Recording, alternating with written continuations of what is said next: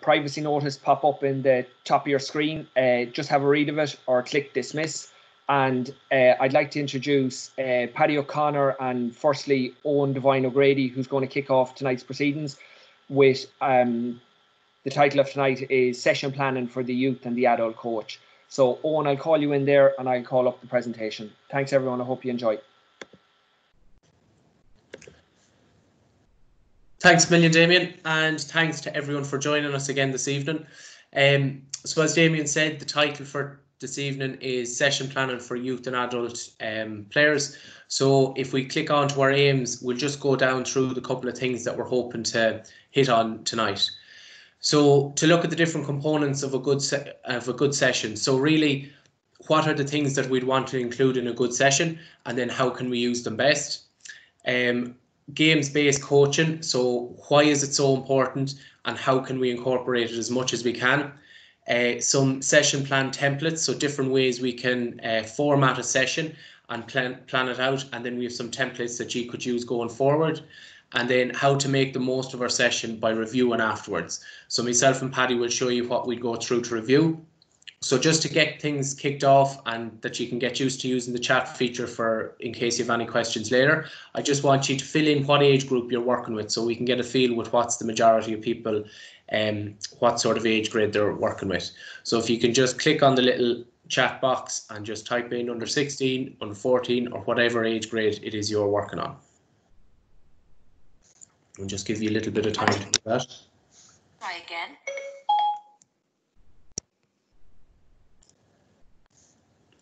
Good stuff. I see them rolling in there. That's great. So it's just to give us a feel about what age grades that uh, people are working at and where the majority is. Um, so we can move on there, Damien. Um, so I'm going to hand you over now to Paddy O'Connor. He's going to take you through the first part. Um, so Paddy, if you want to turn on the mic yeah. and the camera there. Cheers, Owen. Hear me okay? All good, Paddy. Okay. Yeah, all good, Delhi. Okay, so what we're going to do now is we're going to play a couple of video clips and we're going to ask you as coaches, whatever age group you're working with, which of these activities are you more than like more than likely going to use? So there's there's two sets of activities in pairs being being going to be played now in a second. So you can just jot down yourself for your own sake, what activities would you more than likely use in a coaching session. So we'll just we'll clip on to them there now.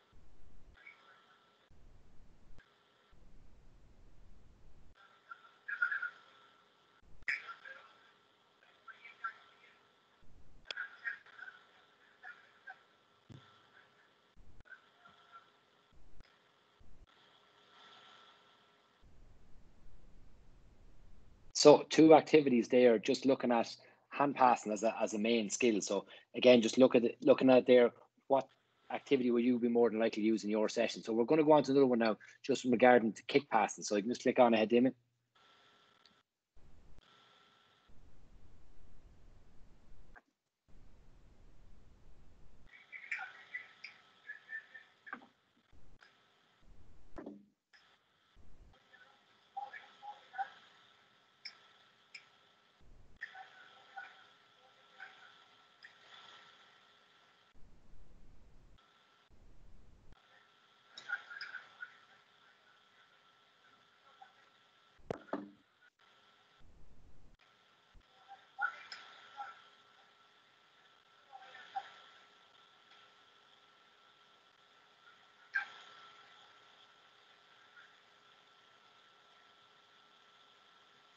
So um, the two activities there, I suppose, we're looking at hand passing and kick passing there. The first two for the hand passing, one was a, a kind of a, a star-shaped drill support play. One second one was a, a possession game where they have to work the ball into grids and work the ball out and work on support play. So again, looking at them, what ones would you use? But also then the kick passing one, which was a, a square box kick passing drill, and the next one was just a possession game, so a three v three possession game. So thinking to yourselves, if I had a choice between either of those to develop kick passing, what would I use and when would I use? Okay, so what I'm going to nip on to now is just two little videos, and we're going to look at uh, Niall Moyna from DCU. You all would know would have a, a huge experience on the coaching scene, obviously involved with Dublin and DCU. Professor Moyna, and then you have Paul Kinnerk, which is who is the um, the Limerick senior hurling coach, but actually his predominant sport would actually be Gaelic football. But he, he's a guy that has done a lot of work on games based coaching, and both of them done two really good presentations a couple of years ago at the coaching conference. And what I want you to see is just what are the key messages the lads take you that you take from these two videos, talking about games based coaching and thinking about the couple of activities we just played beforehand on the hand pass and the kick pass. And so if you can have a listen to these, write down a couple of key points and we'll go through them. To determine or to create a practice that allows players to learn implicitly. Don't realise it. Mickey Whelan loves this term about implicit learning. All of a sudden, you're learning and you don't realise it. You, know, um, you go out the next day, geez, I did that, I didn't realise. I'm making better decisions. It's occurring implicitly, not explicitly. And that's the way you want them to learn. You have to manipulate the constraints or the conditions of practice to make sure they're appropriate, they're appropriate level, okay, and to ensure that you're going to have improvement in skills. It should be goal oriented. So each time you go out, is the purpose of the game? Is it to retain possession? Is it about the transition? Are we going to really focus on transitioning from offense or transitioning to defense? Or is it going to be about where we're going to have the, engagement line? You have to decide all of those things. But make sure there's a, there's a purpose and there's a goal orientation to just don't have a random game. There has to be a purpose to the game. And what you should do is you should guide and shape rather than dictate the practice of the training. The more your voice is heard, the less coaching you're doing, the less learning they're undertaking. The less you hear yourself, the more learning is taking place. If that's one message you want to get from the day, that's it. If you're shouting, they're not learning. If you have your mouth shut, they're learning. Believe you me, they're learning. And we should you should also rely on skillful observation and clear questioning. We call this discovery learning. So basically, you do a warm up dynamic, specific. You play a game, you take them back in, you question them, you challenge them about what has happened. You go back into a game, you further question and challenge them. You, you, make, you progress the game, maybe make it a little bit more difficult. You repeat the above cycle, you do a warm down. And you can focus on technique only when it improves the game or the ability of the individual to play in the game. Then you go in and you work on a specific technique. The game should be the focus of your intervention. Here you have, if you want your two broad categories, you have your traditional and your games based. So your traditional, it's uh, the uh, majority of use of uh, drills ahead of games, uh, while in the games based, uh, you have more games than drills. Um, so traditional, you have a kind of linear process. So traditional, I suppose, it's associated that skills can be uh, skills need to be learned before you play them in the game. So we practice high repetitions of drills uh, before we can go into a game and then we test them in the game. While in a games based approach, it's a more flexible outlook. So that it, the belief is that skills can be learned through playing games. So that your likes of your first touch, the likes of your hooks and blocks, yeah, your kick passing, that they can be developed through well design games. So um, the likes of your overload situations there, they're very good for the development of skills because yes, you're putting minimal pressure um, on the player on the ball. So for example, your four versus twos, your five versus ones, you name it. But what you're allowing to take place is you're you're allowing some level of decision making to take place with it. Then I suppose in traditional there's a focus on, as I say, there are opportunities for uh, high repetitions of skill practice, uh, and the games base believes in uh, that having high opportunities for decision making. Our traditional is, and you, it's really the, the teacher and the and, and the student, and while in the games based approach, um, the coach acts as a more facilitator role and um, allows and puts the onus back in the players. So that's basically how um, what an example of how a traditional session might be and what a games-based session might be. So, um, Professor Moyna earlier had a similar slide here on the games-based approach here, and uh, it's it really follows, I suppose, that you introduce a game early to establish context. So the whole session then is built around an area that you want to work on within that game. So it could,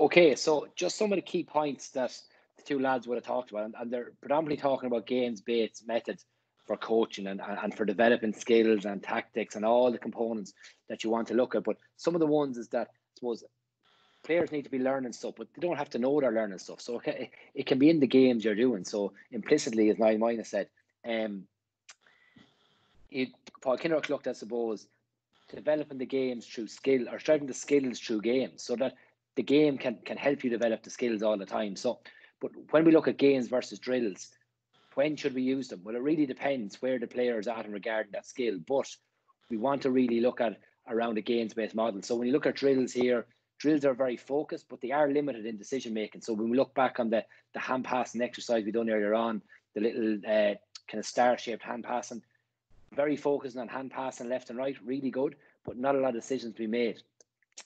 And I suppose games help players solve problems. And that's what we want of players on our pitch. When we're playing games, when we're looking at matches, we want to say, what was the problem today at the match? We need to get a game, play a game that puts the player players in them positions and let them solve the problems. So I suppose kind of playing words and Colin would have done it last week on the child one would have been rather than a games based approach that everything is based on a game. So can you think of a drill like the ones or an activity you would have seen that you use but can you base it more around the game? Base it around the game. Use the step model to change it and make it more realistic to a match. And you're that you're and you're going to develop your skills and you're going to develop your decision making and your tactical side of things. So that, that's really, really important there. But again, going back to the, the two lads when they talked about their session plans, is that the game is the center of everything. And then we work around that. We try and develop our skills around that. We try and question the players. We let the, the players figure out things for themselves. That's really, really important. When we look through our templates later on, it's really important. And we're looking at our sessions that we can say to the players, well, what did you do here? Why did you do that? And let them let them figure it out rather than us just telling them. So, but the big thing again is that it's based around the game, that they're getting lots of decisions and it's around the game we're playing. Whether it's in the under 16 league, the under 14 league, minor league, senior league, doesn't make a difference. That's the game of football that they're playing, which is really, really important. Okay, so just coming back in there, what we're going to ask you now to do is just so we can have a little bit of context for later on the webinar, is to just answer little three questions into the box. So same as you did for what age grade you're working with, now we just like to know how long are your sessions usually, how many players would you usually have at a session, and then how many coaches would you usually have, including yourself. So if you can just fill that in nice and quick, it doesn't have to be an essay or anything, just um, the time, how many players and how many coaches. And then I'll move on, but you can be filling that in as you're listening and Paddy will be able to use that later on. So we'll be moving on then into kind of the nitty gritty of planning a session. And I suppose the, the place to start in planning a session is to think about what is the content you're going to bring in. So really what we're going to use is kind of two checklists. And the first one here is um, really simple, brings it back to the basics that we're going to include. Just go back there, Damien, for a second. That we're going to include technical, tactical, and physical. So we would really like to try and have those three things in our sessions all the time. And then I suppose wrapped around that all the time is the psychosocial uh, element of that. So even though that's a big word, it's the really simple things we do as coaches. It's being positive, encouraging players and trying to build their confidence. And that's kind of all the way through doing technical coaching, doing tactical coaching and doing physical coaching. So that should be an ongoing thing. But if we pick one uh, technical area, tactical area, and physical area to work on in the session, we'll be starting off on a great foot. So we can move on then. So with technical coaching and the technical area, um, it's important to note that how we coach is very important. So we could set up the best drill in the world or the best game in the world, and the players will run through the game or the, the drill. But how can I make sure that we're getting our technical coaching done? And that's by trying to spot as many faults as we can and get the, the information to the players. So that's a key thing. And the best way of doing that, and it's proven with myself and Paddy have used it, is using head, hands, feet. So if we're working on a technical skill and we can try and learn what should the head be doing, what should the hands be doing, and what should the feet be doing, then it's much easier to spot these little things during games and to fix them and then give the information back to the players. Technical coaching also doesn't happen just in simple drills or um, when we're really working on quick hands or something like that. It's also something that we can bring in during the games or even matches um, that we're doing a training. So we should always be trying to watch for the technical things that we can improve. Um, and then even some coaches are using videos so we could video players so that we can give them direct feedback. Look this is what you're doing really well but this is somewhere you need to work on. And again linking it back to the head hands feet. So we have um, a video coming up next of just kind of showing the technical points of a punt pass and it really nails the head hands feet that we'd like to be doing as much as we can during sessions. Lifting the head too early is a common error when learning the punt kick this can lead to miskicking the ball and sending the ball in the wrong direction. To correct this error, encourage the player to continue to keep the head down, focusing on the point of impact until the follow through is complete.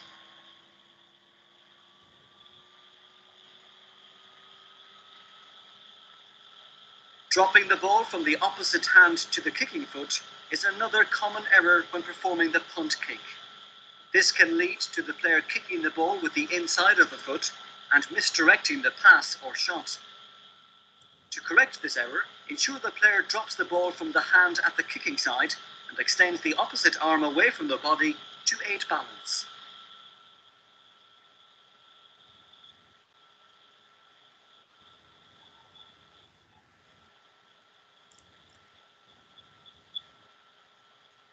Not keeping the toes pointed and not following through in the direction of the target is a common error when performing the punt kick.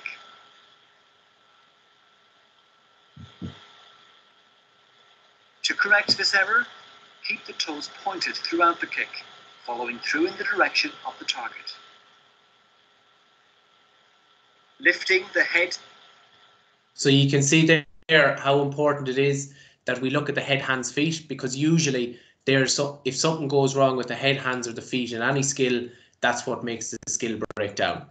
So then when we go to tactical coaching, um, as Niall Moyna was saying in the video earlier, um, and he really made the point well of implicit learning that the players themselves need to learn. So can we set up um, training to give them as many opportunities to learn themselves? And really with tactical coaching, it's making decisions. So if we can get them into a scenario where they have to make decisions, then they're working on their tactical prowess. Um, if we look back at the games that Paddy would have shown, um, if we think of the two hand passing drills, one one of the drills had um, no decisions in it. They were just hand passing over and back and they run to the cone they're supposed to, where there's no decisions. And then in the next game, every player was making decisions all the time. So one game is working solely on the tactical or technical, sorry, and then the other one is working on technical and tactical things at the same time. So we have a game here just for an example, just to show you a really simple layout of a tactical game. So it's called the four goals game. So you set up four goals and you can have it's a 3v3 there, or you could have more than that in it. So it's a really simple game, but by having the four goals and kind of two goals for each team, it really brings in more decision making. So rather than defending one area, now there's two areas to defend and two areas to attack. So players can really use the space well, and um, they have to be thinking all the time about how they're marking and creating space. Um, if we look at the step model, then just to change this game a little bit, we can make the area bigger or smaller. We could have more players um, in it or less players to make it a little bit more intense. Or for tactical reasons, we could add in an overload. So we could have a 4v3 or a 5v3. And that would challenge the defenders and the attackers a little bit more tactically. Um, and then also we can change what they're doing. So in this one, if you imagine they're hand passing, we can change that and make it much bigger into a kick passing game. or we could have different challenges that they have to try and get so many passes before they get a goal. And these types of things will challenge their tactical prowess as well as their technical skills all the time. Um, so then the next part we'd be looking at would be the physical. And there's lots of different things out there that we can do for physical coaching. But I suppose the easiest way to make sure that we're planning it in sessions consistently, consistently is using the GAA15. So some of you might be familiar with it, some of you might never have heard it before, but we have resources that Jamie will talk about at the end, so you'll be able to find out more if if need if you need to. Um, but basically, it's a really well put together warm up that will develop their functional competency and their body weight strength. So anyone over the age of 14 can do this and it's kind of starting at a basic level that they can progress on from there. But they need to get um, these exercises and movements really right first to build the basic strength and the body weight strength, and then they can move on. It takes usually about 10 to 15 minutes. And as the players get better at it, they'll kind of almost learn it off by heart and they'll they'll be able to do it that bit quicker and then there might be 100 to 150 repetitions of different exercises so the different exercises could be the squat push up um, lunge, different things that we've probably come across before, but it just kind of sets it up and gives a bit of a plan and structure to it. And then if you look over one session, it probably won't make much difference at all. But 150 repetitions in a week, in four weeks, that's 400 to 600. In six months, that turns into 4,000 to 6,000. So if we were to do 100 to 150 reps, probably not much of a difference will be made, but four to 6,000 reps in a season would be a huge difference to a player and it would really help them develop and build the different things for functional competency and performance and that's their physical side in a season really really well managed so if we move on then just breaking it down a little bit more it's in different sections and again we'll include this in the resources that you can kind of read up on it if it's something you're looking at so um, we have kind of a running part, so that's just getting active, getting moving. Um, I'd always have the ball involved in this sort of an area. Um, then we have some stretching, there's balance, there's jumping, or sorry, strengthening, balance, jumping, um, some work on the hamstrings, and then sport specific stuff. So it could be sprints in different directions, or you could bring the football into it. One of the kind of negative things that the GAA15 has got in the last couple of years is that it's um, very much the same thing over and over again, but it can be changed and manipulated and um, used differently by different coaches. It doesn't always have to be the regimental thing the same every time. Coaches can bring in a new thing all the time. In the beginning, I always change what's done in part A. It could be some sort of a simple hand passing game or something to bring a bit of laughter into it. And then we go through the usual exercises. And the players I've worked with kind of react well to that there's something new, but then they kind of get used to doing the same thing and they like the bit of routine. Um, then in red, we have strengthening and hamstrings. Those things could be taken out and you can use the rest of it as you usually do for your match days, but just taking out the strengthening and hamstrings. And that has worked well for me in players um, react well to knowing what's coming on match day, but you're making sure by taking out the red parts that it's not going to be impacted on the game, that it's a good warm up, but it's not going to be too much for them. So we have a video then just to show you an example of the GAA15 um, that Damien will click into next.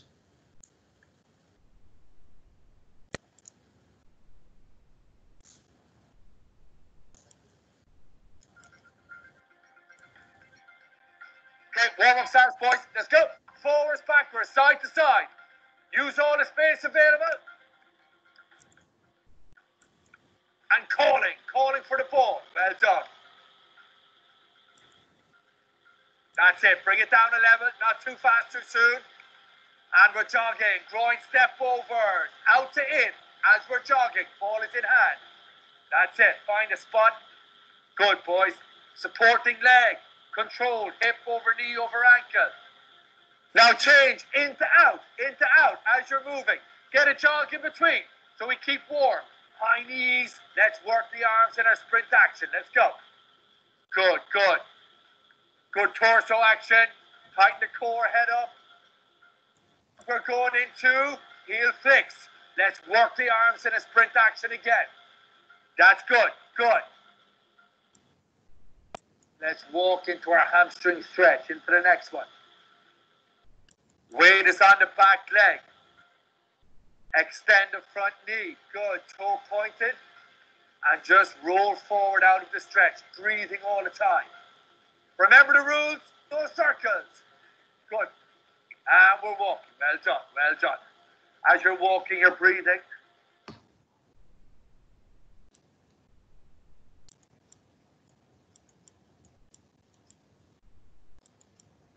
Moving into our single leg bridge. Knee, hip, shoulder. That's our alignment. If you feel the pelvis is dropping, self correct or relax and do it again correctly. We're going into a single leg bridge drop. We're dropping our hips towards the floor, not quite touching it. An inch above, and then squeezing the glute back up into our neutral position. Walking forward. Reverse with shoulders. Remember the key rule. The knee does not cross the toes, boys. Focus on your hip dropping rather than your knee bending. Squat by 10. Let's do it.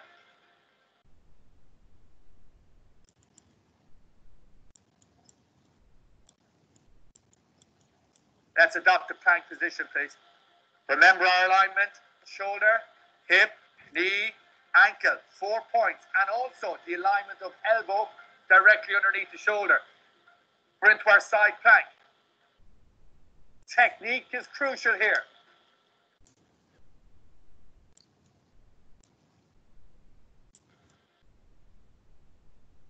Hands on hips, explode for 10. Let's do it. Technique again. Technique is everything. Let's find a partner. We'll go straight into our single leg RDLs.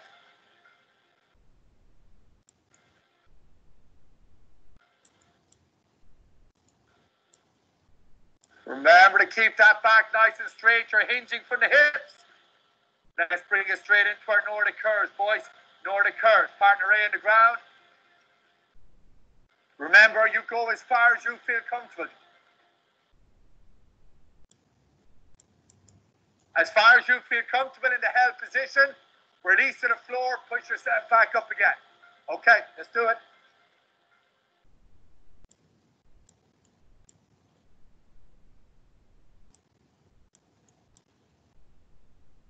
Let's get a bit of movement back into the warm up again. Where we are.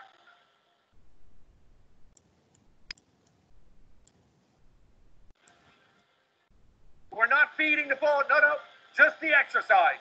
Drive up in the air, drive up in the air. Transfer that to football. High feed for the man coming on. One, two, and up. High feed. That's it. Higher again. Higher, not low. That's the one. Spread it out. Make it bigger. Make it bigger. Spread it out. Good job. Good job. And we're talking on again. When you receive, change direction. When you receive, change direction. Go somewhere else. Good. Good. That's excellent. Well done. Use the space. That's well done. Right hand. So um, just to kind of go back on that with the physical stuff, as the players get more used to it, they'll get a lot better um, at the exercises. And if we include those three things all the time, that's a really good start to a session. So then just the other thing I would use then for planning sessions is the TERS principles. So are we testing and challenging players as best we can? Um, are we going to plan that players are the centre of the learning, are the centre of the game, and that we're individualising the games to them, so challenge them at their level? Are we making the games resemble the matches and the games as best we can? Are all the players going to be involved all of the time and lots of touches? And then are we going to make it as enjoyable and as engaging as possible? So you'll see later we have a session planner where we'll have kind of these questions to ask ourselves, including them. And then there's loads of different things that go into it. But by using these kind of two checklists, we, we should have a good start and a good um, way of bringing it as much things in as we can and the best things that we can use into it. So moving on then, myself and Paddy are going to just uh, kind of do a scenario. So kind of what would usually happen, I suppose, in the dressing room after a match. So, Paddy, what did you make of that match today? Yeah, good on. I think we played well. Um, our tackling was really good. Like they only got a they got a goal, but it was only um we only really one chance at it. So I think we tackled really well. But our kick passing, very surprised our kick passing, really poor. Like we've done a lot of work on kick passing in that square running drill. Like it, they've done that square running exercise for the last three or four weeks. Kick passing's been really good, really sharp, and then we get into the game. I, I just don't know what's happening to be honest. Yeah, I suppose I'd agree with that. Um, probably, I suppose the first thing that's really important to think is they're actually trying what we want them to try. Like they're they're making the right decisions in the kick passing that they're trying, but it's just not really coming off. I suppose the quality of the passes isn't there, and probably the runs just aren't the right runs at the minute. Um, probably what's wrong is a training in that drill that we're talking about. There's probably no opposition that it's a bit too straightforward. They just have to kick it in their own time to a standing man. And maybe if we could change that, like it's it seems to be the opposition that's really breaking it down so much. What should we do then for the next session? Like what what are we going to how can we change that trailer? What can we do? Uh, we I'd say we definitely need to get the lads kick passing under pressure and have them moving all the time. So it's one thing to kick the ball when they're standing still, but to be able to kick the ball when they're moving at pace and someone's closing them down is crucial. Um, and then I suppose there's two parts to the pass. So there's the, the kicker and then there's the guy running off the ball. So to get them to link better and to be thinking all the time about what's the right run I can make for the kick pass. Um, and then it's really the kick passing into the inside forwards is really what we need to work on. Yeah, I have actually a good game there. You can use it for kick passing. So it's called support the player. So basically you're kicking the ball into a zone and someone's coming off the player's shoulder in a match like so you have a kind of a forward inside. That, that could work actually for John inside. That we place him inside in the zone. He wins the ball. He lays it off. So he's kind of a wall player to lay the ball off to a player coming, and there won't be as much pressure on him as well, and it'll give more focus to the lads getting the ball into him maybe. So we might try that the next day then. Okay, ideal. That sounds good.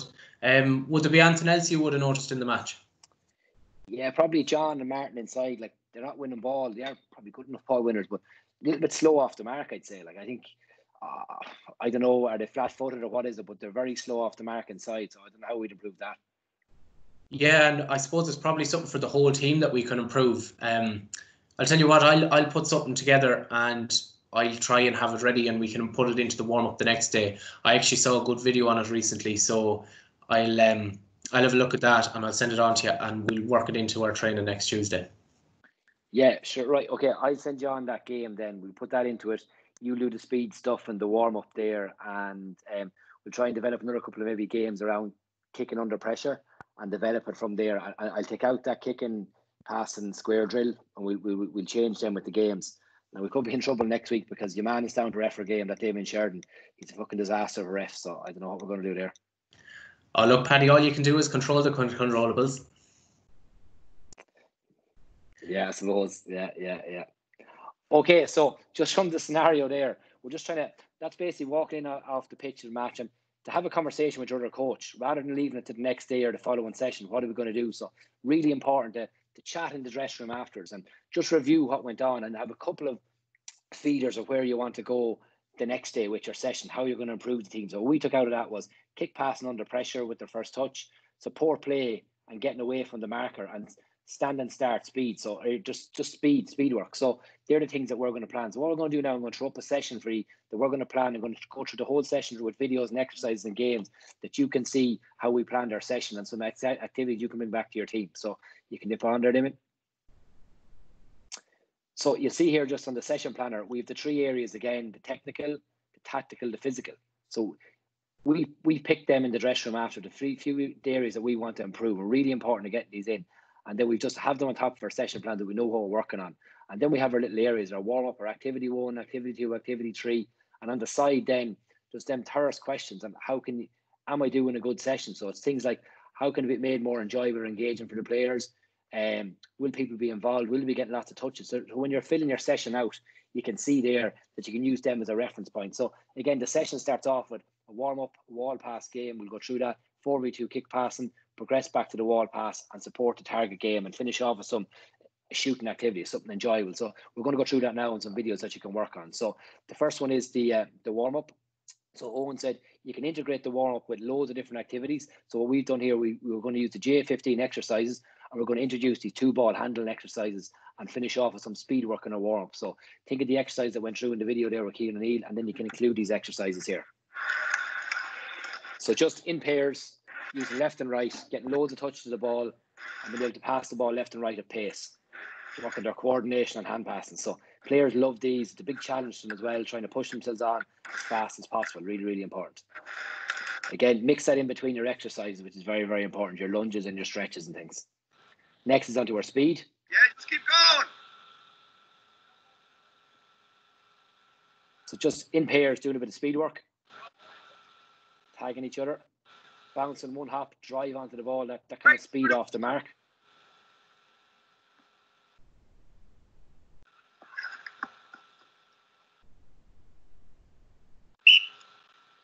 So again, just reaction, reaction all the time, speed at the end of the warm. Lovely time to put it in. Loads of different little exercises here that you can do with them.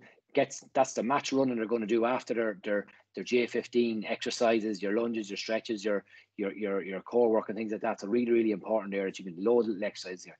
Loads of variations there. The players can work, you can work with them. Sprinting five, ten meters, getting that ball, driving out.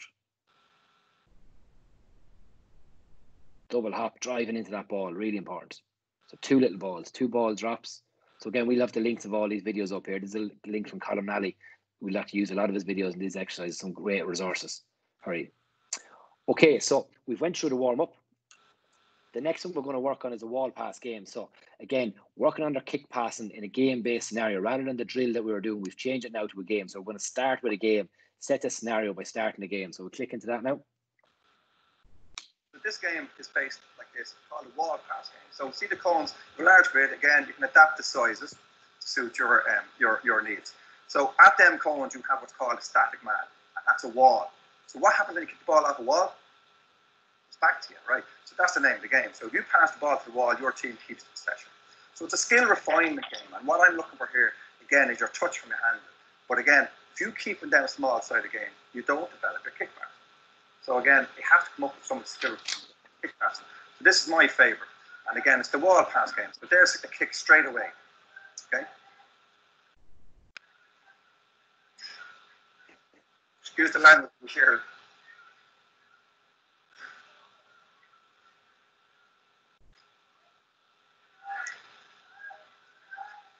Pardon? Yeah. yeah. So when you're in possession, you've always got an extra four place. That means you've always got an extra option. Now I've suspended the touch in this because I want the head lifted. So I want them to see the pass and I want them to execute the pass. Is that okay? Right, so that's fine and it's for skill refinement. Perfect opportunity for coaching, perfect opportunity to develop bilateral skills. Okay, because all you need to do is put the condition on, kick your left, use your left hand. Okay, so you can see it's quite good, isn't it? A lot of movement. Okay, now bear in mind skill refinement. And again, we said a lot of technical, tactical, uh, whatever. So we're not really getting much out of this, only development of skills. Would you agree? Okay, so so I want to move that on a little. Okay, so that game there, as he said, working on skill refinement, really important. Working on their kick pass under pressure, as we talked about. So that game will be played for like, say, three two minute games. But you'll have six v six inside and six on the outside. So two teams are working, one team is resting, and they're acting as the feeders on the outside. And the important thing there is that they're under a bit of pressure making their shot. But if even if the kick passes aren't working, change it maybe to um, six feet or four v two in the middle or something like that. That they're getting a chance to kick pass. So we push on then the next time. We played a full game as we said, and pushing on to the next game then. Basic three v three kicking, trying to really work on their technique. Kicking and moving all the time.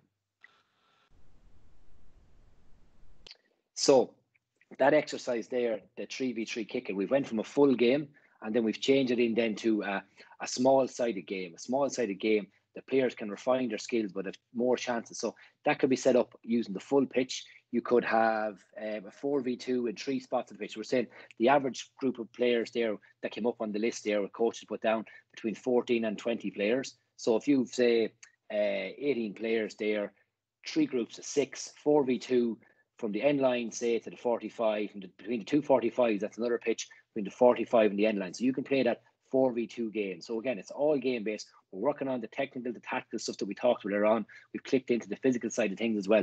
Then we go back into the wall side of the game. How do we progress that wall side of the game? Then the wall pass game. So we'll go back into that game again, see can we progress it.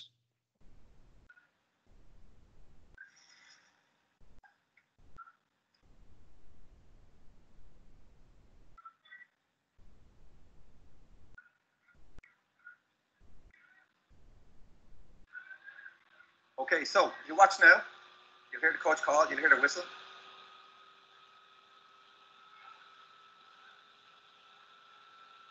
Right, so it's changed. Come from river. Look at the runs. See the separation. That's what I'm looking for in that game. I'm looking can this can the um, the passer execute the pass properly. Okay.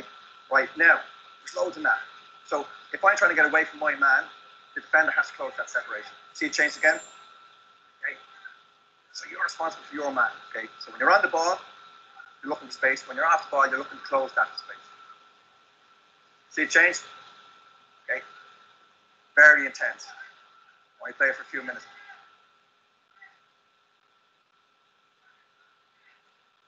One more. Yes, coach is referencing Colm. So it's changed again. Look at the look at the hard runs. Look at the close hand. Yeah, yeah. Still the principles of the wall pass skill refinement, except the ball can come from any of them cones, either team. So the game changes, it ebbs and flows. One minute you're attacking, one minute you're defending. Right, really intense. Okay, and again, when you're using words like separation, you're not putting a clear picture in the player's head off the ball. Okay, is that okay? So I think language is vital, and sometimes um, you know you don't have to go through long-winded you know explanations. Just one or two words puts the picture in play. Okay, so we progressed on the wall pass game there, which is really important. If you look up there in the tackle, support runs and getting away from your marker. So that game there definitely works on that. Works on that, that getting away from marker, getting that separation as we talked about. So all we changed in that game was the ball can be thrown at any time from any other place in the end. The players have to react. Again, it's bringing a more tactical element into it. And then we finish off then with another game, a more full field game that we'll have called support to target. So we'll just click on there. So just we have an explanation for the game here. Basically, all you do is in any game, this can be 6v6, 5v5, 7v7. We create a zone in front of the goal and we put it forward in there, like we talked about our full forward, winning the ball a little bit slow. So we keep it unmarked. And to get a score, the ball must go in to the forward and he can lay it off to a player coming. So again, we're going to work on our kick pass into our forward line, work on our support play, the ball being popped off. Then to make it more difficult, then you can put a marker on it. But maybe you might have a 2v1 in there. You might have maybe two attackers in there. So two options for the long kick pass, one defender trying to cover them. So we're looking at that long kick pass, and again, we're looking at support play coming off. We're looking at off the off the mark, running really sharp, winning that ball and nail it off. But again, you don't have to just put the walls in front of the goal. You could have a wall in the middle of the pitch act as support play if you want. So again, kicking the ball to the man in the middle of the pitch, he lays it off to another guy running down the field. But again, using your walls and runners are really important to develop support play, and also that helps develop the kick pass. So it's a great game. And the way we play that then is we play them in seven minute spurts. So then games would be three by seven minutes. Play for seven minutes, relax, come back in, talk to the players, question them, maybe change a condition if you have to. If you don't have to, that's fine. You keep playing and then go back into the game again. All game based, all looking at trying to get the players to refine their skills and their tactical element and their physical element through games all the time. And then just for the finish of the session, then we just do a fun activity. Then just see at the bottom of the page here. You all know this. People start either side of the goal with a ball. One team on the right, one team on the left. They all have football. Um, they try and they, they shoot for two minutes. First team to 20 scores. Just a bit of competition team that loses the game has to pick up all the cones at the end of the day. So finish off with a bit of fun activity, but the fun activity has to have some sort of resemblance to the game. So we're working on on the loop shooting there, just soloing around the D, popping the ball over the bar.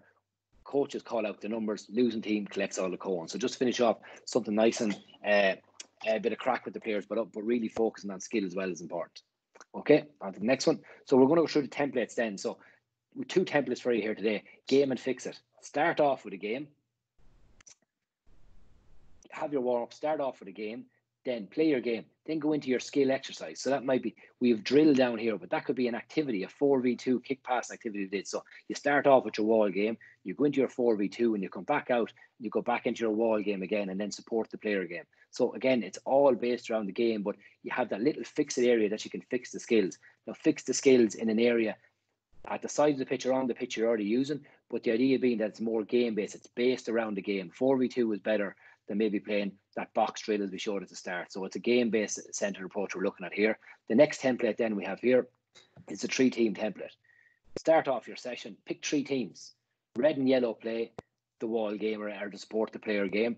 Then up in the skill area on the other side of the pitch, use another coach. They work on their kick passing. They might start off with partner kick passing, then they'll change to maybe um, running and kicking. Then they might change to maybe a 4v2 area and play the 4v2 kick passing game while the, all the other players in the game area play a match. And then rotate the players every couple of minutes and every maybe seven minutes that each team gets a chance to go into the skill area, improve the skill with the coach, and get back into the game. Again, it's all game centered. This is a great little template to use when you have two coaches. You just need someone to ref the game. You can do all the coaching in the skill area and get them back into a game. And you can spend a lot of time with your players, which is really, really important. So one on one working on the spot and fix with the players. So that's a really good model. It works really well when you have maybe you as a coach and maybe one other parent to help you out.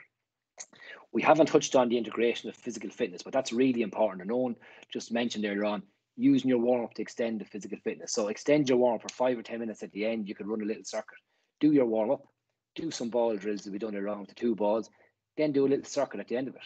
Let them do their push ups, their squats, their lunges, their RDLs, all these exercises, and you can really get a good fitness hit out of that. Otherwise, when we look at the other two templates, breaks and matches, during breaks and matches, don't just use them for carrying water and talking to the players. Maybe do some of the exercises, do some plank work, do some squats, do some lunges, do some jumping and landing exercises, and then get back into the game. But use every minute you have wisely and try and integrate all the elements the technical, the tactical, the physical. That's a good way of of including the physical fitness part into your sessions. Breaking games, bring them in, show them exercise, do the exercise, go back into a game. So you might do push up, one break, you might do squat the second break, and you might do lunge the third break. And then you've done three different exercises and you've added the physical element into your sessions. What option do I choose in the templates we looked at? So the three team and the skill and fix area. Well, you have to look at, I suppose, what area of, of a pitch do I have? How many players do I have? What type of equipment do I have? And how many coaches do I have? Again, it's up to you there, but you have two options now and there's many other options out there we'll have in the resource as well, like a circuit based model. If you have three or four coaches, that you can use a circuit based model. But again, it all comes down to you have to ask yourself these questions before you start the session. What area I have, how many players will I have, what type of equipment I have I, and what coaches do I have? Finally, I suppose the use of coaches is really important. So um, you might be stuck there with two coaches. One of you might be very competent in coaching, the other might be. So always get them to referee the best time you will do your coaching when you step back. When you step back from a session and watch, rather than being stuck in the middle of the game, get them to referee the game and you can look at the game then and see things you want to improve on. Another nice way of doing it is get a parent to do the roll call.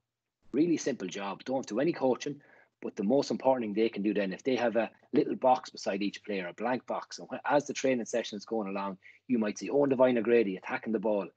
Tell them to write that in the box beside it after the session when you're reviewing your session, that coach or that parent has wrote that into it. They've taken a note on it. You know for the next session you're going to work on own the variety, own divine Grady's attacking the ball.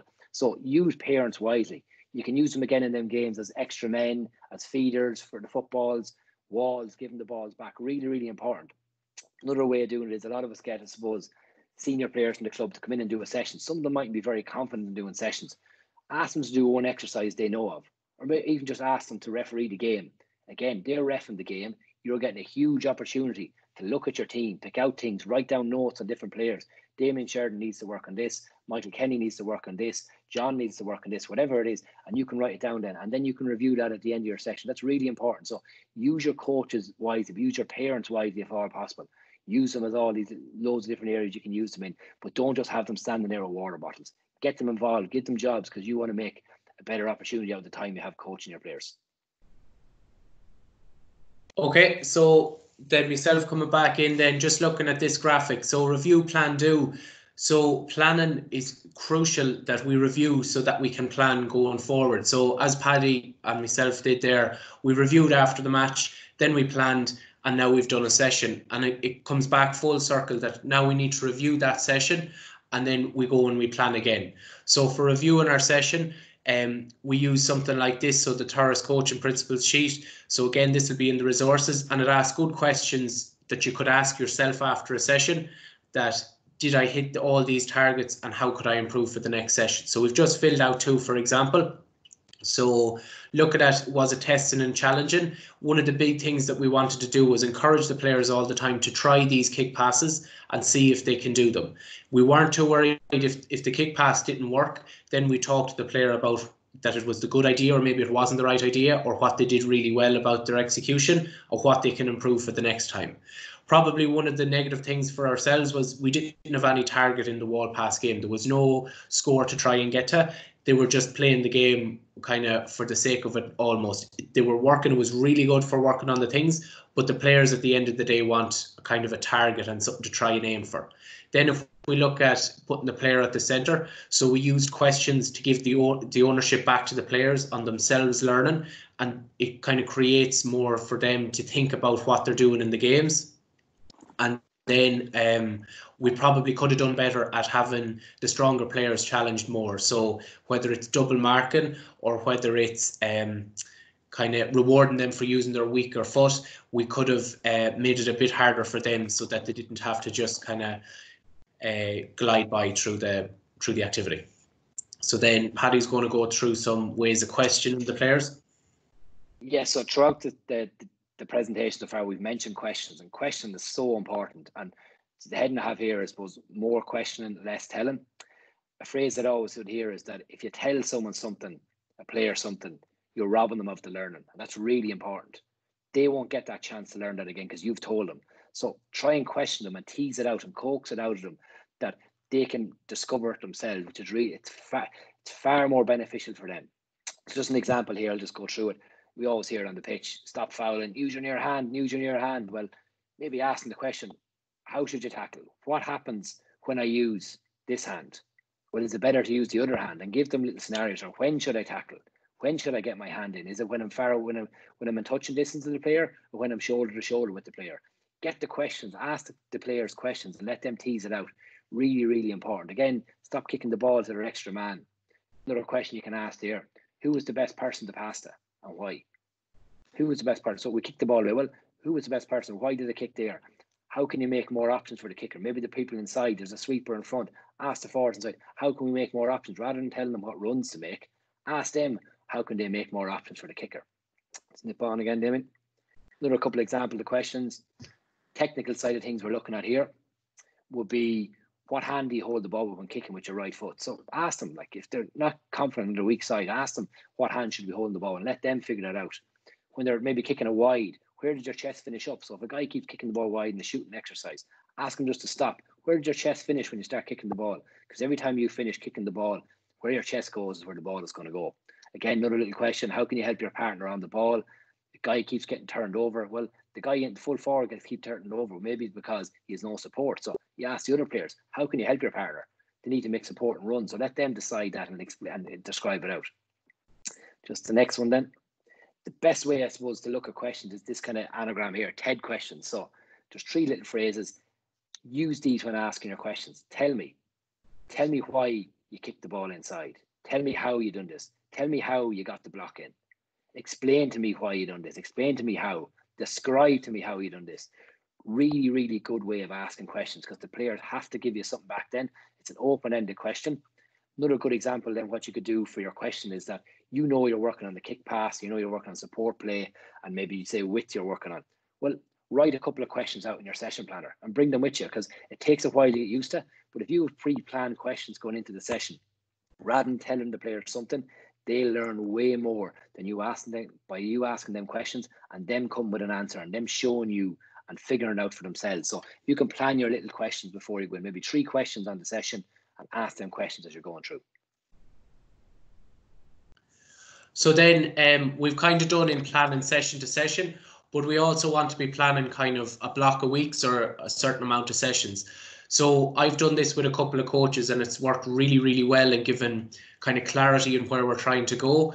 So if we were to sit down as a group of coaches and say we have an age grade of under 16 there and we pick three priority skills that we work want to work on technical skills three tactical things that we want to teach them and then maybe three other things and they don't have to be physical they can be three kind of other things altogether and if we kind of focus on that then for the season that there was a consistent message coming through and that we were working on these all the time and then there'll be space to add in other things. So Damon if you move on then we just add those things then into a kind of a grid like this. So that's seven different sessions there which could be seven weeks or it might be three weeks depending on your situation.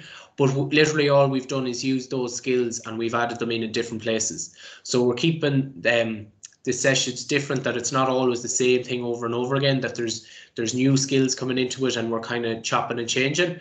But then we've also a consistent thing throughout that these are the three skills that we're going to target for the year that our players are going to be better at these three skills when they go on next year to maybe other coaches or with ourselves next year. Then in the yellow boxes as well we have areas where you can you know bring something in that you might see along the way that you realize this group is falling behind on something, some particular skill or some particular area of the game, and that's where you bring them in, like myself and Paddy did, reviewing something and adding it in into the little windows. So definitely a good way of planning, and really important to plan over kind of, kind of a certain amount of time ahead, and then after them amount of sessions, you could meet up again and see what worked, what didn't work, and move on again for the next six weeks.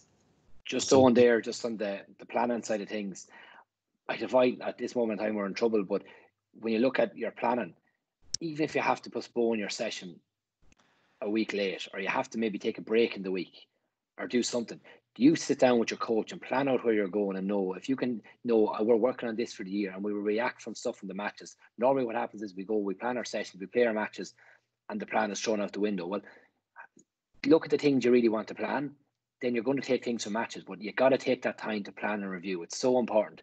You'll see huge benefit to your sessions and your players. And what will happen is you'll be far more confident going to your sessions, and the players will get way more out of the session. So the, I can't emphasize the plan enough. It's really, really important.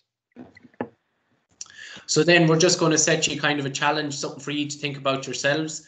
So think about how many minutes you have in a session, whether it be 60, 70 or 80 minutes maybe, and then just kind of jot down out of these six headings how much time you would spend at each thing. So you don't have to put it into the group chat up here or anything like that. Just have a think about it for yourselves um, and maybe jot it down on a piece of paper after kind of hearing what me and Paddy have to say. And maybe it's different to what you usually do. Maybe it's um, you've kind of reevaluating what you were thinking and then set out what you'd ideally like to do and maybe going forward then you can try and aim for that. So if you decide that you want to spend 20 minutes on condition games and 20 minutes on matches or whatever it is you think try and then aim for that as you're planning your sessions in the future. So Damien can leave that up at the end if needs be if anyone wants to take them down. But just have a real think about it. How much time would you give to each particular part of that of the six headings? And then on again. So just coming to the end, I suppose what we want to know is what's what's really hitting home with G. So if you can use the little chat box again, just write in one thing that you're definitely going to take from this webinar back to your club and tell other coaches about or what really hit home with you, your number one learning from this webinar. And you can be filling that in. And then also with that is if you have any questions, make sure and get them in um, to that chat so that we can have a go at answering them. Um, there's no silly questions, so be sure to put it up. If there's something you're thinking 100% there's someone else in the group that's probably has the same question. And what we don't want is that someone's going switching this off and they still have a question. So definitely answer, ask it if you have it. Just on the question side of thing, Owen, just Mike put in there, first thing but then was question players. Yeah, Mike, it's, it's a huge thing, really, really important. And lads, if they're listening to players, question players, you can't do enough of it because again, it's it's robbing that learning from them, and again, it's a learning experience. You want your players to get better. Learning something from each session all the time is huge. So again, practicing them questions and planning them questions, it's huge to your session. Huge, huge. Uh, thanks very much, Owen and Paddy. We'll be back to you in a couple of minutes. Just keep an eye on the questions coming in there. Again, for people that um, are haven't been with us before, I just want to show you where all the resources are kept. So longfordgaa.ie, into coaching, coaching webinars, and um, we get the whole schedule from May and through to April. So today's resources are just here under this link. Tomorrow morning we'll have a full recording of tonight's session coming up there. you'll see our interview from Porrick Davis last week and Gary Seiss uh, coming this Wednesday night.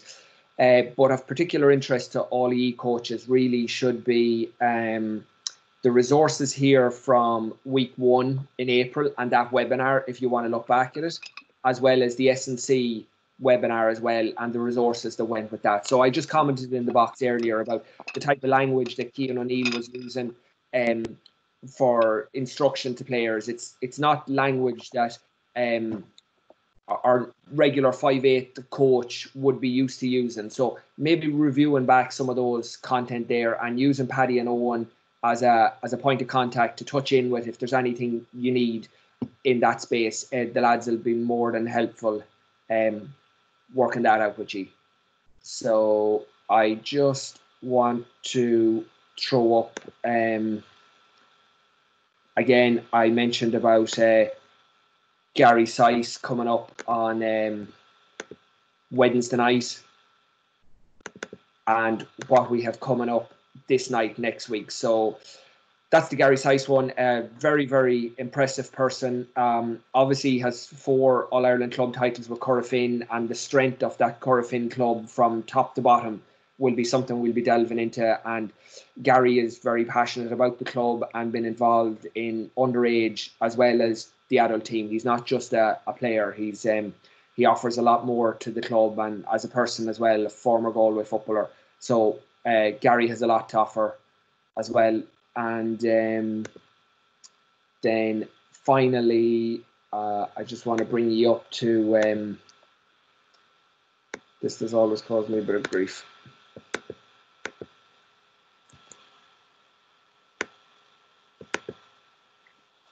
Uh, so the webinar for next Monday night, uh, real exciting one. You would have heard Paddy mentioning there about uh, Michael Kenny. Uh,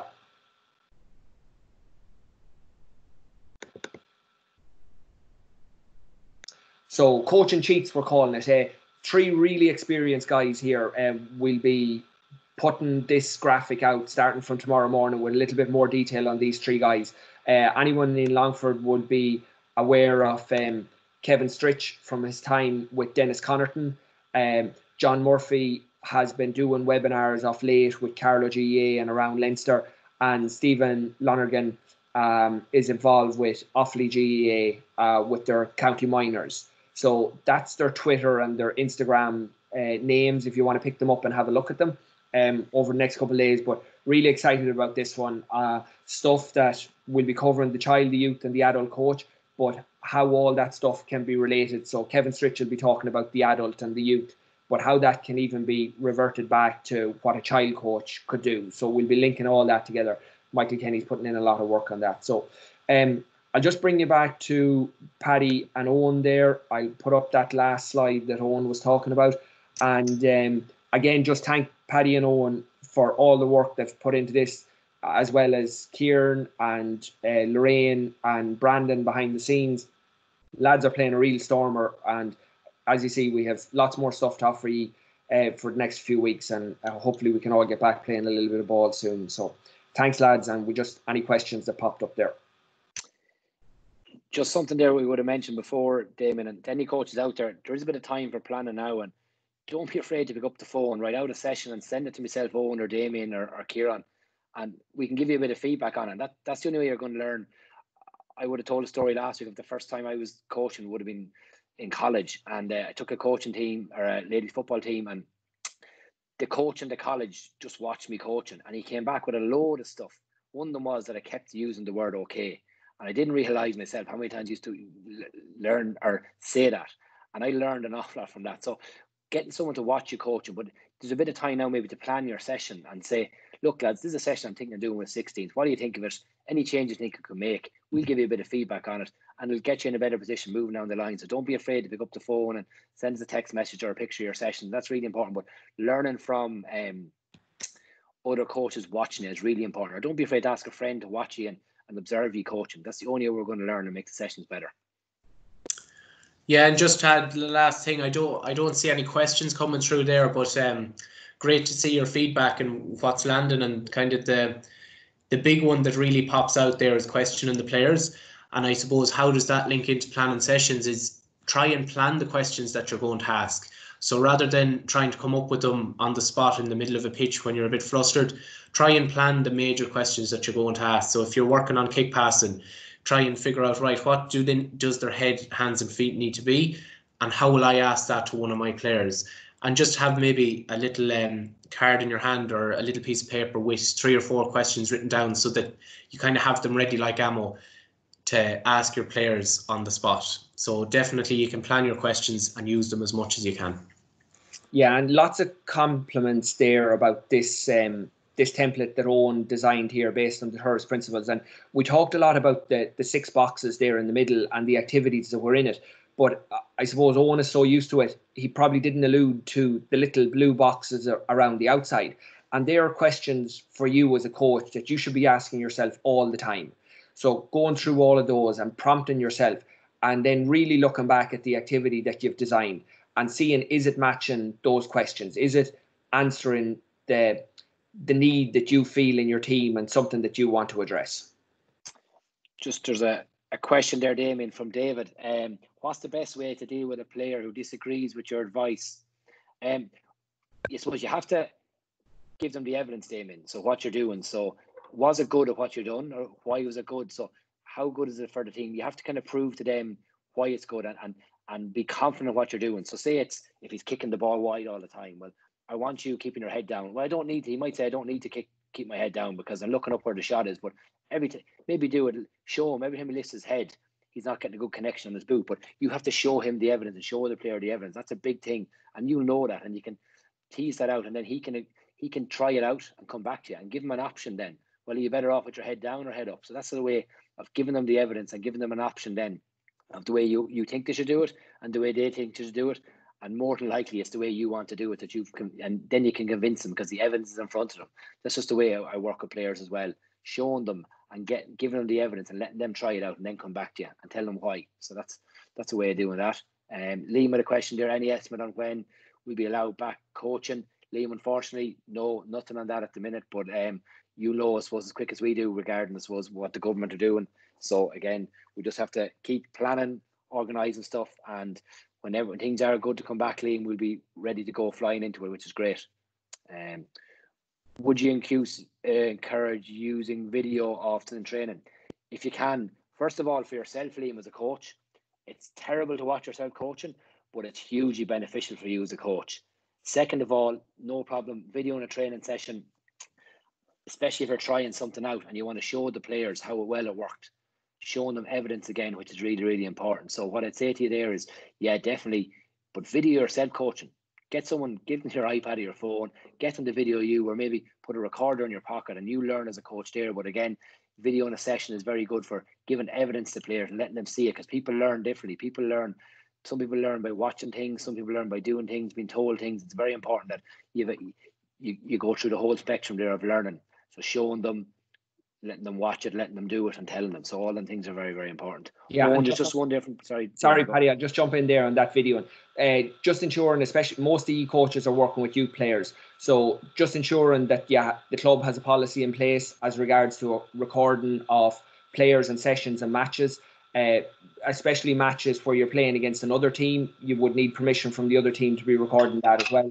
But with your own players, that there's um, parental consent signed to cover this, and then also the storing and the deletion of those uh, videos or whatever. So in an ideal setting, that would be a device that would be owned by the club, and it would be backed up if needs be to uh, a club at GAA email address. Um, so just talking to your children's officer, and then also any questions there, come to us in the office, and between Peter O'Reilly and ourselves, we'll be able to answer those as well. But just bearing that in mind. Uh, then there's a question there from Bernard about what age should the strength-based exercise start at. So a real simple answer is kind of under 14 and up is is a perfect place to start. Um, the GAA15 is based for under 14s and up, so definitely a good place to start is there. But just to be mindful of the reps and sets, so that means how many times you do your RDL. So if you check our resources um, when Damien gets them ready after this, you'll be able to see it. There's a nice file and it lays out the GAA15 and the reps and sets that are involved. So that's where I go and just check that sort of stuff out. but definitely from under 14 and up, these can be used for all players. I hope that answers your question. If if not, let me know. Give me a follow up question. Yeah, and that link is up there already under the website, so that can all be accessed straight away. And the video of tonight will be there tomorrow. Brilliant stuff. When coaching large numbers, should you split them an ability and strength? Lovely question there. It depends. It basically depends. If you want to challenge player, it depends on your your group of numbers, but it is important that you do vary it around. But if you want to really challenge the stronger players, yeah, definitely put them against stronger players. But you need to every player needs to get a holistic approach there that they're getting challenged in different ways. But it's important that you can split them. So Dave, Brian, I'd say there, yes, you can you can do it with str- strong, but what you can you can rotate it around as well. But the idea is again, if you go back to the Thirst principles, where my players tested and challenged, and that's the most important thing.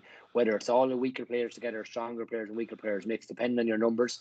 But the big thing is that where they challenge and that and how do you challenge them and there's different ways of doing that but it does depend on your group and your numbers but with big numbers you can split them but i would you want to get some link up play as well and again the stronger players can help the weaker players so if we have a guy that's soling up and down the field all the time breaking through well maybe instead of him soling up and down the field he can work on his maybe link play so he you can work on his kick passing getting the ball into the weaker players so that's going to help his kick passing if his condition is he has to get the ball into certain players and it's going to help the weaker players then because they're getting good passes all the time. So again, mix it up that way. That's a good way of doing it. Maybe putting a condition on a stronger player to help the weaker players is really important. Anything else there, lads?